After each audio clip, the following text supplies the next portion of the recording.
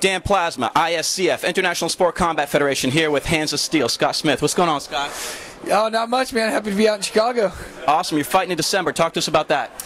Yeah, the, I think they're putting a card on mid-December. It hasn't been announced. I'm hoping December 19th. I don't have an opponent yet, but Strikeforce is so stacked at 185. I just got to be ready for whatever.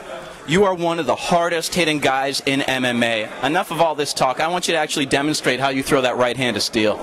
Okay, now the, the punching power, it's not all hands and shoulders. It's all timing of the hips.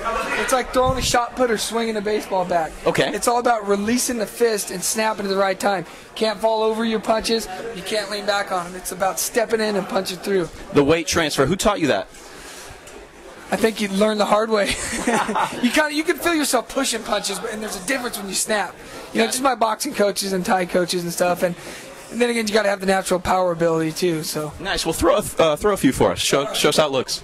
All right, short and sweet.